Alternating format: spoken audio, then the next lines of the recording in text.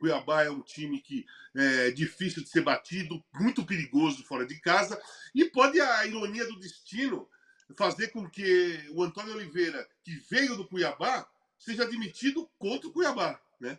Porque o futebol tem essas, tem essas historinhas, né? É, essa, esse giro e, o, e pode acontecer isso. É, hoje, se perder, cai.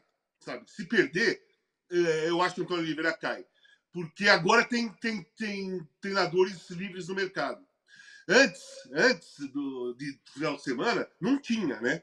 É, um treinador no mercado que o Corinthians pudesse procurar, é, que não tivesse que tirar de um outro time e tal. Tem dois é, treinadores no mercado que saíram recentemente. São três, na realidade, né? Tem o Jair Ventura também, que foi demitido. São três treinadores, dois caríssimos. Dois caríssimos, né? Tanto o Cuca como o, o Diniz são treinadores caríssimos. E o Corinthians tem a maior dívida do país, né? Do, no futebol. É... Mas é, o time do Corinthians é ruim, a dificuldade de jogar é enorme não tem criatividade, vive de lampejos assim muito raros nos jogos, né? Por exemplo, empatou no final de semana com uma falta super bem batida do Galo. Bateu na trave, voltou, o Kaká fez o gol. E o resto do jogo?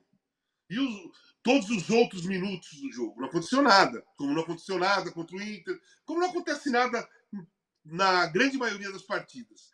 É, o Antônio Oliveira, na minha opinião, ele tem um time muito ruim na mão, mas também é, erra muito nas substituições, é, erra muito quando na escalação muitas vezes. O Corinthians é um time que não dá para jogar com três, três caras na frente, mesmo que sejam velozes do lado. É um time que te, te, deveria jogar com um meio-campo mais congestionado, sabe? É, é, mais compacto, tentar evitar que o adversário jogue. O Corinthians é um time que precisa evitar que o adversário jogue, antes de tentar fazer qualquer coisa. Porque quando joga de peito aberto contra qualquer um, o adversário é melhor e sempre domina, sempre domina a partida, né? Então é um jogo de muito risco para o Corinthians. Muito risco para o Corinthians mesmo. E muito risco para o Antônio Oliveira. Muito. Agora, é, se o Antônio Oliveira sair e o Corinthians pensar no Cuca ou no, no Fernando Diniz, gente, é, são dois treinadores completamente diferentes, né? Um tem, um tem um jeito de jogar, uma mentalidade, mais experiência e tal, um pouco mais. É, é um cara que ofensivo também, mas um pouco mais tradicional que é o Cuca.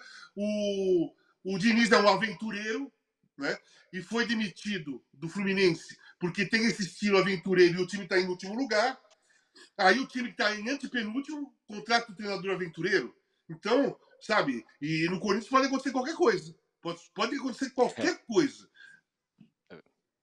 Agora, o Mauro, será que o Antônio Oliveira está tá no cargo ainda? Tem esse jogo contra o Cuiabá? De fato, ele está ali no banho-maria. É, por enquanto, tem só uma, um fogo baixo sobre ele, mas a campanha não é boa. É, e a gente sabe como é que é, né? O, tem, tem um seguinte combo, né? Que eu sempre falo. Tem duas coisas que não segura técnico no cargo: quando a torcida vai contra ou a zona de rebaixamento. Uma delas, o Corinthians já está na zona de rebaixamento. É, e, e realmente, né, geralmente a sombra de outros técnicos ela, ela é muito grande, e existe hoje essa sombra, né? porque esses técnicos geralmente são técnicos que servem de escudo para os, para os dirigentes. Né?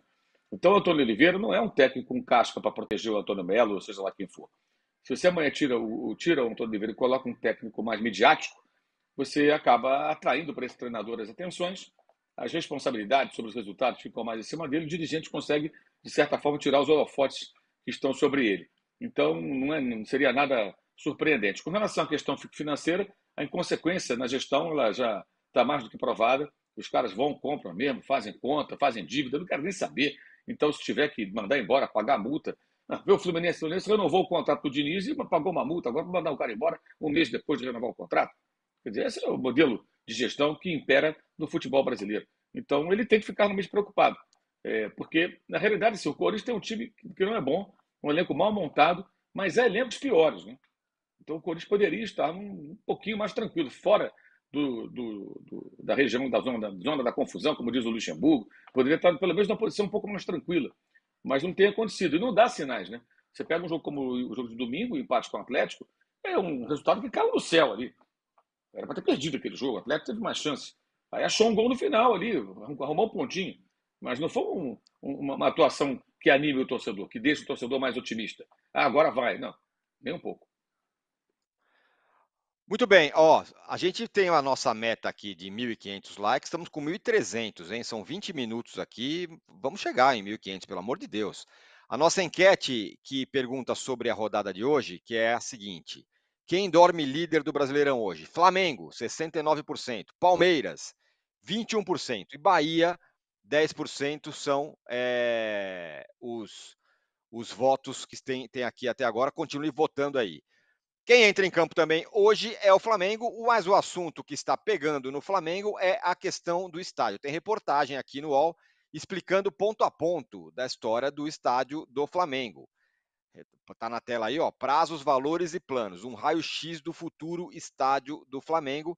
Reportagem do Alexandre Araújo e da Luísa Sá aqui explicando é, ponto a ponto. O Flamengo está, vou ler um pedacinho aqui. O Flamengo está cada vez mais perto de ter o sonho do estádio próprio transformado em realidade. Após o decreto da Prefeitura do Rio de Janeiro, que desapropriou o terreno do gasômetro, o clube aguarda mais algumas etapas para, enfim, dar início às obras. Mas quais são os próximos passos? Qual o prazo da obra? Quanto deve ser gasto? O UOL responde às próximas perguntas. Mauro, responda você também as próximas perguntas. Quais são os próximos passos?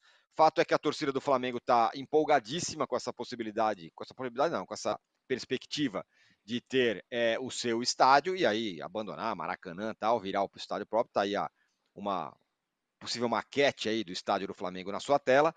É, enquanto isso, os rivais estão enlouquecidos porque está falando, ah, tá tudo errado, como assim? Vai pegar o terreno não sei de quem. Explica aí para nós. Ah, são muitos passos, né, Tirano? Primeiro tem que comprar o terreno. O terreno não foi comprado ainda, ele foi desapropriado. Agora o Flamengo vai ter que comprar o terreno. Isso vai levar aí um tempo. Vai, deve ter contestação da Caixa Econômica, pode ir para a Justiça. É, então vai ter primeiro que superar essa etapa, que eu acho que será superada pelo andar da carruagem. De uma forma ou de outra, isso vai acontecer. O terreno não será doado, será comprado. O Flamengo vai pagar pelo terreno. E aí depois a grande questão é como que o Flamengo vai levantar o dinheiro para construir o estádio o, o, a proposta do presidente do clube é a SAF parcial, modelo Bayern de Munique. Né? Essa informação nós trouxemos em primeira mão no passado aqui no UOL. 25% o Flamengo venderia para empresas, né, desse seu, pra, no caso, para sócios né, é, do, do, controle do futebol, mas é uma ideia que é rechaçada fortemente no clube internamente, no conselho, entre dirigentes da própria gestão do Landim. Tem gente que não, não, não aprova a ideia, e na torcida, que mais ainda. Né? Até porque o torcedor, quando ele fala assim, SAF, ele pensa, Vasco, por exemplo, olha o Vasco, tem SAF. Flamengo, SAF, pelo amor de Deus, não, não quero, não, não preciso disso. Ah, mas é parcial. Não, não, não, não, não, obrigado, tchau. Nem parcial. Há uma rejeição imensa à ideia da SAF. O Landim insiste nisso, diz que tem um plano B. Não me parece ainda que está claro bastante.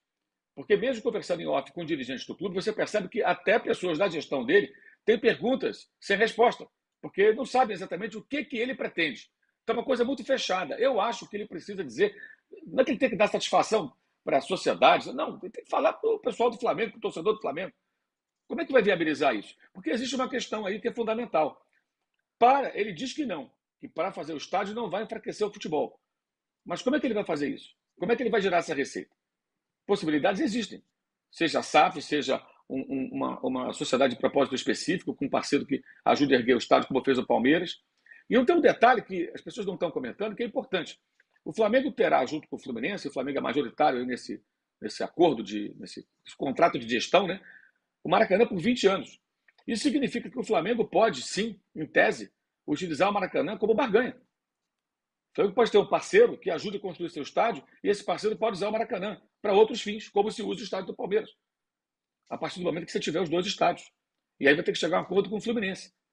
Como costurar isso? É, esse é o desafio do Landim ou de quem vai é, é, tocar esse projeto depois que ele sair da presidência, já que ele fica só até o final do ano como presidente do clube. Deverá, ou poderá, melhor dizendo, é, seguir ocupando o cargo do Flamengo como presidente do Conselho Deliberativo, por exemplo, que é a intenção dele, é o que tudo indica. Né?